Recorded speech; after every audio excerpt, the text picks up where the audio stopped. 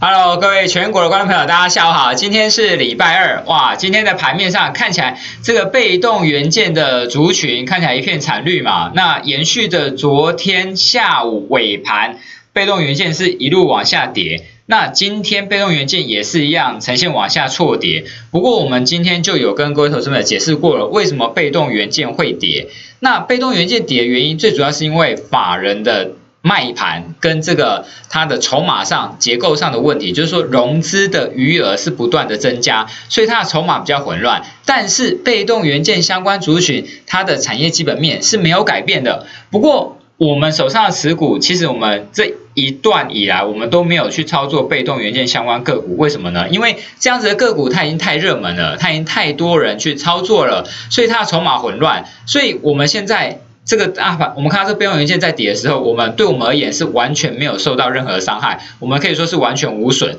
但是我们手上的持股呢，不仅完全无损，还准备随时随地呈现一个创新高的一个走势。好，那我们先看一下这个台北股市的一个大盘。这个地方，哎，确实就是如我们预期嘛，这个大盘准备要攻这个季线跟半年线，季线跟半年线这个地方要攻过的话，你必须要什么？要有成交量嘛，你的量能要突破。可是今天看起来量还是呈现一个比较萎缩的状态，所以你要突破这个季线跟半年线，看起来还是有一些些难度。呃，比较好的状态就是希望这个在这个地方稍微横盘震个两三天之后，补量再往上攻。才攻得过去，不然的话，这个地方也千千万万不能够回到这个支撑线，因为这个支撑线接下来是非常非常重要的，短期间内是绝对不能再回撤的。如果再回撤的话，会有比较大的危险。不过，我想在下半年，既然都有九合一选举嘛，这个控盘的人也知道说，这个线是不能够再回来的。如果回来的话，下场可能会不太好。所以这个地方，我们还是呃静待成交量出来，那再往上做一个观察。好，那。国巨是这样子嘛？今天有没有它呈现一个跌破季线？季线什么线呢？季线就是生命线嘛，一季的平均成本线嘛。所以当国巨跌破季线，国巨它是被动元件之王嘛，所以是整个被动元件的一个精神指标。当国巨跌破季线的时候，而且它出现了大量，前面有一个大量区嘛，这个大量区的最低价被跌破了，所以会引发一大串的一个停损卖压。所以像这样子的一档股票。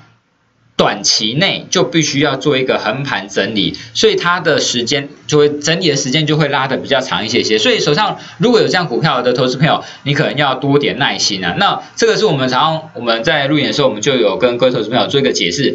为什么它会这样子？因为它的融资五百块的时候融资只有三千七百四十张，它涨到一千块以上，融资变一万三千多张，所以融资增加的幅度哇，增加了二点六倍。不过因为产业前景不变嘛，除了融资增加以外，在一到五月份，这档股票的零股交易累计哦，它是排名台股第一名，第二名就是玉金啊，第二名是那个大力光的部分，第一名是这个国巨部分，所以代表说很多散户都进来了嘛，可是法人在这个地方，它却是呈现卖超的状况，而且哎，成交量是呈现量缩，所以在这种情况之下。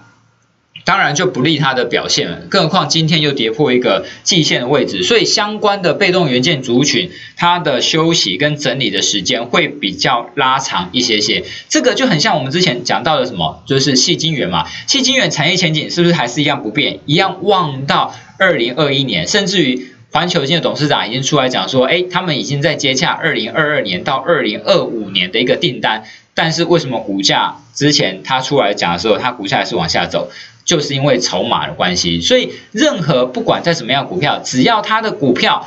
再怎么好都不管，财前再怎么好都不管。当它的筹码混乱了，买的人变多了，那有特定人士，比如说法人在做卖超的时候，因为可能法人觉得它的股价高过嘛，或者说他可能要做账，他要获利了结，或者说他分批减码的时候，它的。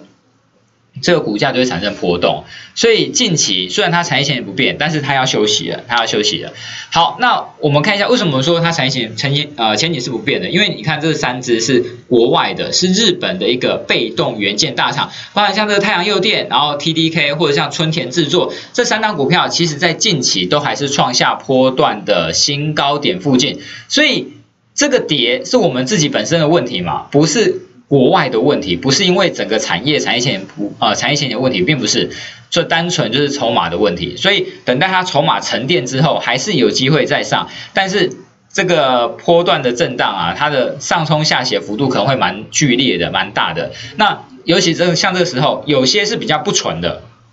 有些是因为沾到边的，比如说持有某些被动元件的股票，因而涨上去的这种的。呃，等于说沾到边的，它的修正的幅度会比这种真正有缺货涨价效应的来的更大，所以各位投资朋友要特别的小心，要特别的小心。好，那我们的持股呢？其实红河嘛，我们之前提过，在六月底的时候，其实红河跟大同的股价是差不多的哦。大同已经再创波段新高，即使大盘今天小幅的回档，回档三十八点，那大盘大概呃大同啊，但再创波段新高，那我们的红河的部分也是接近波段新高，随时随地有机会再往上创新高。为什么？因为土地资产开发题材，这个上半年没涨过嘛，那下半年面临这个九合一的选举，在这个九合一选举的情况之下，当然这样子的题材就非常非常有机会。那泰鼎的部分。我们从贸易战前就开始做一个进场布局，当时市场非常恐慌，一样嘛。那确定贸易战生效，就是利空出尽，完全是如我们预期，而且它的走势是不断的创新高。那创新高之后呢？其实我们股票也不是说买了之后就不卖嘛，买了之后会买也要会卖嘛。我们早盘做一个获利了结动作之后，哎。到尾盘一路收在最低点，所以你看今天创下波段新高，早盘我们卖掉，哎，尾盘收在相对低，所以我们的操作还是非常非常的一个灵活，非常灵活的。好，那森达科的部分也是一样嘛，森达科哎突破横盘区间之后往上创新高，今天又再创波段新高，我们一样做一个获利了结减码的动作，哎，今天收盘又收在相对低点了，所以这样子的操作也是因应盘面上的这个。变化很快嘛，所以我们的操作就会相对的比较灵活。那有没有我们有提过嘛？上半年热门的股票你不要去碰，涨太多的股票你也不要去碰，融资大增、法人在卖的股票，筹码比较凌乱，所以也不要去碰像这样子的股票。所以下半年我们要锁定的，其实六一路以来都带给各位投资朋友。一个很重要的观念就是投资，你在选股的时候，不管是你自己选还是看我们分享股票，我们尽量都是以基本面为主。我们会寻找它的业绩是创新高，或者是接近创新高，或者是